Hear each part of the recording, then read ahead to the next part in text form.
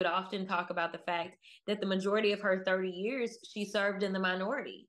But even in serving in the minority, she was able to get things done. She wasn't just your run of the mill politician.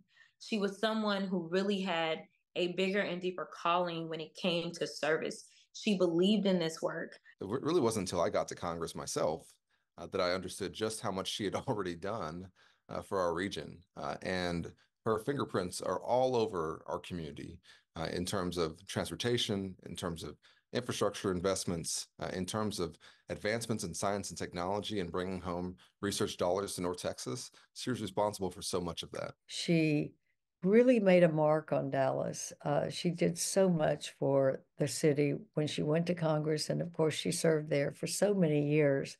And and she produced results. Uh, and if you're any one of us who enjoys so much of what we take for granted in North Texas, you know, at some point in the next week, when you say your prayers or whatever you do, or give thanks for whatever you can do for the new year, you should utter the name Eddie Bernice Johnson and express a word of gratitude to her.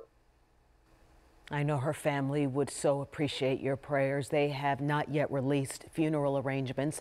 You can watch full interviews, plus read the dozens of tributes to Eddie Bernice Johnson on our website, WFAA.com.